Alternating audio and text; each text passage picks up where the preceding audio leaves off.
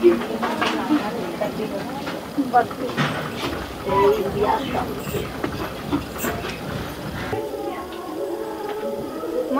सात बज गया है, सेंटर का समय हो चुका है।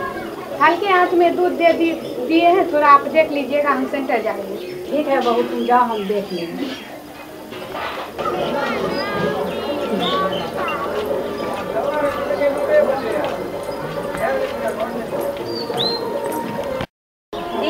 पे पोषाहार केंद्र कहाँ पे है? दीदी यहीं पर है बगल में ही है। चलिए दिखा देते हैं। ठीक है दीदी चलिए यहीं पर।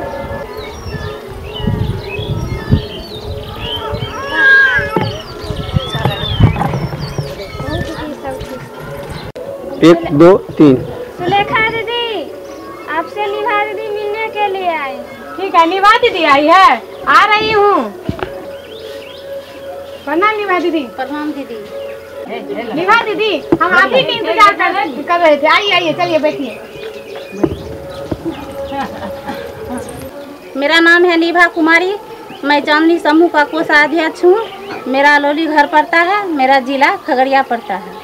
मेरा नाम सुलेखा कुमारी है और मैं जी- एकता जीविका ग्राम संगठन में जीविका सहेली के रूप में काम करती हूँ। हाँ दीदी आप पोषाहार सेंटर के बारे में क्या जानने के लिए चाहते हैं? पता ये चला है कि आप लोग पोषाहार केंद्र में पौष्टिक भोजन बनाते हैं। हाँ यहाँ तो सप्ताह में सातों दिन गर्भवती और धात्री माता को सुबह दोपहर और शाम का खाना बनाया जाता है। दीदी आप लोग कैसे भोजन यहाँ पर बनाते हैं हम जानने के लिए चाहते हैं। हाँ दीदी तो चलिए। पोषाहार केंद्र पर दीदी सबसे पहले रसोईया आकर झाड़ू लगाती है और बर्तन साफ़ करती है।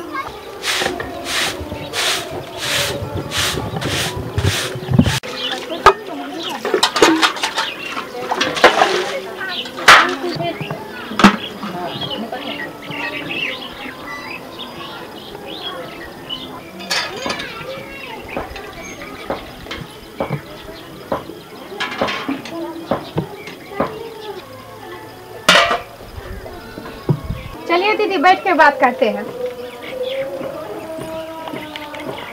रसोईया दीदी। हाँ दीदी। बैठिए दीदी। दीदी हम बर्तन साफ़ कर लेंगे। दीदी पानी लेकर भेज कर रख देंगे हाँ दीदी आप झाड़ू लगा लिए बर्तन धो दिए और पानी आन के ढककर रख दिए। साफ़ सफ़ाई पूरा हो गया हाँ दीदी जी दीदी। आज नौ दीदी आएगी आप भोजन के खाने की तैयारी कर ली। आज के दोपहर में दीदी कौन कौन खाना बनाना है? हाँ आज तो दीदी बुधवार है। आज का दोपहर का मीनू चावल अंडा कढ़ी सलाद और हरी सब्ज़ी साग है। चलिए दीदी आपको दोपहर का सामान तौल के देते हैं। ठीक है दीदी। हाँ दीदी, देखिए, आज मेरा मीनू का ये सामान है और मेरी खरीदारी कमेटी ने सारा सामान को खरीद कर दी है। आज मेरे पास नौ लाभार्थी है। और नौ लाभार्थी को हम सवा दो के जी चावल और एक के जी खीरा, नौ पीस अंडा है और दो के जी साग है। और जो अन्य मसाला उसाला है, सो अंदर में रखा हुआ है और मैं प्रबंधक कमेटी के द्वारा सामने में तोल के दे रहे हैं रसोईया दीदी को। अच्छा दीदी सारा सामान सबको दिखा कर देना पड़ता है? हाँ दीदी ये पारदर्शिता के लिए ज़रूरी है। अच्छा दीदी रजिस्टर में क्या क्या लिखते हैं? जो अभी सारा सामान दिए हैं चावल दिए अंडा दिए साग दिए खीरा दिए प्याज टमाटर जो भी सारा सामग्री है उसको जैसे दोपहर में रसोईया दीदी को दिए हैं तो वो सारा सामान हम रजिस्टर में लिखते हैं। जैसे चावल आधा के जी है चावल का दाम जितना है अंडा जितना है अंडा छः रुपये पीस का दाम नौ अथी नौ अंडा का दाम हुआ। उसके बाद साग दो के जी है तो पाँच रुपये के दर से दस रुपया है। वैसे करके पूरा मेनू शाम का दोपहर का सुबह का शाम का दोपहर का तीनों मिलाकर लाभार्थी कितना है और उसका प्रतिदिन खर्च कितना पड़ता है वो टोटल मार के पर दैनिक रजिस्टर में लिखते हैं। ये तो बहुत अच्छा चीज़ है दीदी। ठीक है दीदी आप ये सब सामान लेकर जाकर बनाइए। दस बज गया है बारह बजे लाभार्थी सब दीदी आएगी खाने के लिए। जाइए दीदी। दीदी हम तो अभी आपको खाना बनाने से पहले की तैयारी बता रहे थे।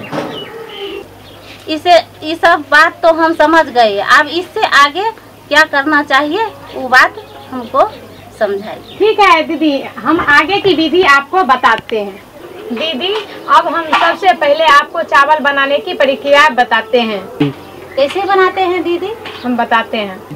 अच्छा दीदी हम चावल पुराने तरीके से बनाते हैं। तो हम आज चावल बनाने के लिए नया तरीके बताती हूँ। हाँ बताइए ना दीदी बताइए ना। सबसे पहले दीदी हम चावल को सूप में निकालकर और कंकड़ पत्थर चुनकर पानी में हल्के हाथों से मलकर धोते हैं। अच्छा दीदी चावल हल्के हाथ से क्यों देना धोना चाहिए? क्या फ़ायदा है? दीदी चावल को हल्के हाथ से धोने के धोने में चावल को जो विटामिन है वो बाहर नहीं निकल पाएगा। दीदी हल्के हाथ से चावल धोने से विटामिन नहीं निकलता है। ये तो बहुत अच्छी बात है। हाँ दीदी चावल बनाने से पहले आपको कुकर में पानी डालिए और क्या कहते हैं चूल्हा बारिए चूल्हा चूल्हा पर कुकर को रखिए और आपको अगर दो के जी चावल बनाना है। तो चार के जी पानी डालकर उसमें क्या कहते हैं ढक्कन लगाकर उसको तेज से आँच दीजिए और तीन सीटी के बाद चावल उतार दीजिए। अच्छा दीदी। अगर डेगची में आप बनाइएगा तो क्या कहते हैं डेगची चूल्हा पर रखिए और उसमें जैसे कि दो के जी चावल बनाना है आपको साढ़े पाँच लीटर पानी दीजिए और उसके पानी गर्म होने के बाद पानी और चावल दोनों बराबर हो जाएगा तो आप उसको उतार दीजिएगा। अच्छा दीदी हम तो दक्षी में बनाते हैं अभी तक हम मार पसाते हैं लेकिन अब मार नहीं पसाएँगे नहीं दीदी क्योंकि दीदी मार जब पसाइएगा आपको जो चावल में जितना विटामिन है वो तो मार के द्वारा बढ़ जाएगा। फिर आपको चावल खाने से क्या फ़ायदा मिलेगा? ये तो बहुत अच्छा चीज़ है दीदी। आप सब्ज़ी बनाने को तरीका बताइए। ठीक है हम बताते हैं सब्ज़ी बनाने का तरीका। दीदी जैसे आप सब्ज़ी बनाइएगा तो उसको पहले धोकर काटिएगा। जैसे झींगा है भिंडी है करेला है सबको धोकर काटिएगा धोकर काटने से क्या होता है उसके जो अंदर में विटामिन है वो बाहर नहीं धुलाता है। अच्छा हाँ अभी तक तो हम काटते थे धोते थे और सब्ज़ी बनाते थे। नहीं दीदी वैसे नहीं करना है। अब क्या करना है सब्ज़ी जब धोकर काटे तो उसको हल्के आँचों में पकाना है। दीदी अगर हम हल्के आँच से सब्ज़ी को पकाएँगे तो उसमें जो विटामिन है वो बरकरार रहेगा। और क्या कहते हैं अगर तेज़ी आँच में उसको पकाएँगे तो उसमें जो विटामिन है वो तो सारा जल जाएगा। तो सब्ज़ी में विटामिन बचेगा क्या? अच्छा दीदी ऐसी बात है। हाँ दीदी।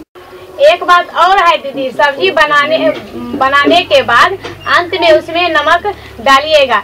अंत में नमक डालने से ये होता है जो क्या कर ये होता है जो नमक में जो आयोडीन है, वो बाहर नहीं निकलता, वो आयोडीन सब्ज़ी के साथ ही रहता है। ये तो बहुत अच्छी बात है दीदी। हम तो पहले फोरन को साथ ही नमक डाल देते थे। नहीं दीदी, ऐसे नहीं करना है। जब सब्ज़ी बना दिए, अंत में उसे नमक डालना है। उसे नमक डालने से आपको आयोडीन सब्ज़ी में ही रहेगा। दीदी, एक बात और आप गांठ बाँध लीजिए। जब भी कोई आप सब्ज़ी बनाइएगा, उसको ढककर ही बनाइएगा। अच्छा दीदी ढक के बनाने से क्या फ़ायदा होता है? दीदी ढककर उम, बनाने से हमारे जो बाहर की पास पड़ोस की गंदगी है और जो कीड़े मकोड़े या जो भी अन्य सामान है उसमें सब्ज़ी में गिरे गिर ना पाए और मेरा जो सब्ज़ी का विटामिन है वह ढका हुआ में विटामिन रहेगा। अच्छा दीदी सब्ज़ी बनाने के लिए तो हम समझ गए साग भी इसी तरह बनाएँगे। हाँ दीदी, साग को बनाने से पहले आपको अच्छी तरह हाथ धो ले और साग को धोकर उसके बाद उसको काट कर उसके बाद क्या कहते हैं आप लोहा वाला कढ़ाई में बनाए। ताकि लोहा वाला कढ़ाई में आप साग बनाइएगा तो लोहा वाला कढ़ाई में आयरन होता। हमारे शरीर में आयरन का भी आयरन भी लेना है। इसीलिए हम साग, क्या कहते हैं लोहे के कढ़ाई में बनाएँगे। अच्छा दीदी, ये तीन चीज़ हमको बता दीजिए। चावल सब्ज़ी, साग। आप दाल किस तरीके से बनाएँगे, वो बता दीजिए। ठीक है, हम बताते हैं। हाँ दीदी, आप दाल को निकाल के उसको चुनकर और हल्के हाथों से धोकर अढ़ाई सौ ग्राम में एक लीटर पानी लगेगा। यानी आप आधा के जी बनाने के लिए चाहते हैं तो दो लीटर पानी लगेगा। दाल और पानी और हल्दी देकर आप चूल्हा पर चढ़ा दीजिए और पाँच या छह सीटी लगने के बाद आप दाल को उतार दीजिए। दीदी, अभी तो हम आपको ये बताए हैं कि पोषाहार केंद्र में गर्भवती और धात्री माता को भोजन में क्या क्या देते हैं, वो बताए हैं। परंतु इसमें और महत्वपूर्ण बातें हैं जो हमें ध्यान रखना चाहिए। दीदी, खाना बनाने से पहले पाँच महत्वपूर्ण चीज़ ये है। खाना बनाने से पहले रसोई घर को अच्छे से साफ़ कर ले और बर्तन साफ़ कर ले और अपनी हाथों को अच्छे तरह साबुन से धो ले। पौष्टिक तत्वों को रहने के लिए हरा सब्ज़ी पहले धोए और फिर काटे। अच्छा दीदी। चावल और दाल को हल्के पानी से चावल और दाल को हल्के पानी से धोए ताकि उसे उसमें जो विटामिन है वो मौजूद रहे। अच्छा दीदी।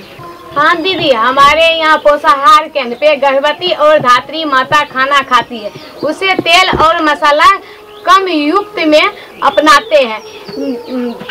युक्त में अपनाने से उसे रक्तचाप और डायरिया डायरिया बीमारी की शिकायत नहीं होती है। अच्छा दीदी बहुत बहुत धन्यवाद दीदी। अब हम आप आप हमको पौष्टिक आहार के बारे में बता दिए। अब हम अपने गाँव में महिलाओं को जागरूकता करेंगे। हाँ दीदी हमको हम आपको तो सारी खाना बनाने की विधि बता दिए हैं और आप अपने गाँव में जाकर गर्भवती और महि- धात्री महिला को अच्छी तरह से पोषाहार के बारे में बता दीजिए ताकि गर्भवती और धात्री माता खाएगी उनका जच्चा और बच्चा स्वस्थ रहे। भोजन की गुणवत्ता को बचाए रखने के लिए आवश्यकता रखे हर एक स्तर पर स्वास्थ्य का ध्यान तभी होगा माँ बच्चा कल्याण। अच्छा दीदी ठीक दीदी प्रणाम प्रणाम। अब हम जाते हैं।